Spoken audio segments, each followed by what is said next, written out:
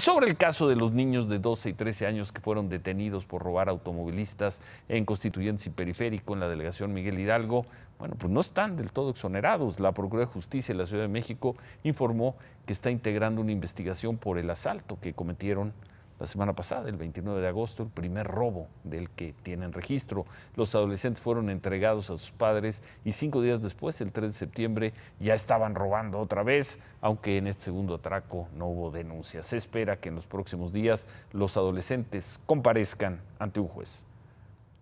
Los jueces imponen las medidas de sanción para los menores que en, estos, en este caso no podrá ser eh, ningún nada de internamiento, pero podrán imponer otro tipo de, medidas de sanción, como son tratamientos psicológicos, este, asistir a, algún curso, a actividades, a talleres. Imagen Noticias con Ciro Gómez Leiva, lunes a viernes 10.30 pm. Participa en Imagen Televisión.